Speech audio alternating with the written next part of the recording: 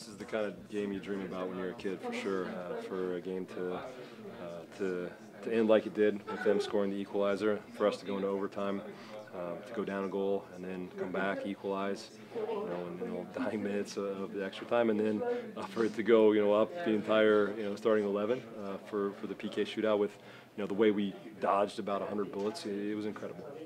Now, you were saying over the weekend that this team responds well to pressure uh, when your backs are against the wall.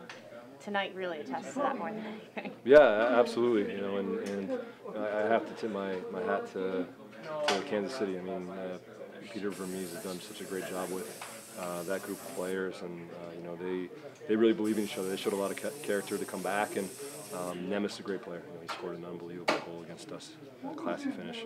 Um, so you know, definitely have to uh, uh, tip my cap to, to those guys. And you guys obviously have a quick turnaround. Vancouver coming here. Um, Coach said a few minutes ago, you guys, you're not you're not satisfied with just this. Talk to me about the next step. Yeah, I think uh, there's no doubt in my mind that this, this group is capable of making a, a deep run in these playoffs, and, and this town is just so hungry for a title. Um, you, know, you could just feel it uh, in the crowd tonight, and you know we were just uh, we just felt uh, like the crowd just had our backs. The, the Timbers Army were back there and just cheering for us, and, and you know they gave us that special energy we needed to, to get those PKs. Thank you. Thanks. Now, tell me what was going through your mind when you saw that ball go off both posts. Yeah, I mean, I almost fainted. There's no doubt about that. Uh, I, I, you know, I've never, you know, been through an experience like that with, with PKs going all the way to, to the goalkeeper, and, and for us, like I said, we dodged, you know, 100 bullets there. You know, with with uh, them having chances to, to win the game. You know, Adam keeping us in it. You know, it was a roller coaster. What were you saying to the players around you, you know, in the 87th minute when Casey, you know, ties it up, looking like it might go into extra time? What were you guys saying in, in the in the huddle? Yeah, you know, we just got to keep going. There, there's there's going to be situations like that. You know, I thought we we, we had the best uh, the best of the play, the the run and play um, over the course of the 90 minutes. You know, they, they scored a you know a great goal. You know, a, a testament to their character. And you know, we had a battle through extra time. We go down a goal, and then you know, test of our character. We came back. Maxi, great finish. Um, and I just think there's a special energy about this group right now. Uh, for sure, we're all playing for each other, and, and we're excited for this next step.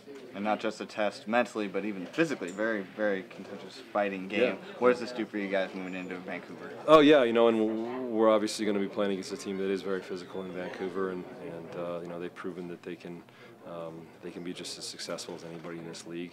Um, I'm sure they're they're excited for this matchup as much as we are. Awesome. Thanks, man. Good luck. You're not just on short rest, you're on shortest rest, it seems. Uh, how do you guys recuperate and get ready? Yeah, I mean, it, starts tonight. You know, I, I, I can't imagine I'll be sleeping too well tonight. I'm going to do my best, but, um, you know, massage tables, nutrition, um, you know, anything we can do to get ready for Sunday. And, you know, um, we're going to be on adrenaline for sure on Sunday. Um, but the good thing is we play Sunday, we, we hopefully get a result, and then we got a whole week to, to rest up and, and get ready for the next one. Does it make a difference shooting those PKs toward the Timbers Army? Absolutely. I mean, those guys uh, just just give you uh, such a great energy, uh, such a great feeling. You know, they, they have our backs through you know the wins and the losses, and you know I was I was really excited to go down and take my PK in front of those guys. Adam talked about how he studied PK tendencies for opponents, but how often do you guys shoot him in practice, and how often does he shoot him in training? Uh, you know, uh, rarely for sure. Uh, you know, we, we shot him yesterday, and, and I think Caleb had a, a good feel for you know who was confident and, and where you know where he wanted to put put guys in the lineup. And I'm glad that, that you know they they put us where where where would they put us because. Um, you know, it, it takes the, the guesswork out of you know when you're going to go. You got to step up and just take care of your PK.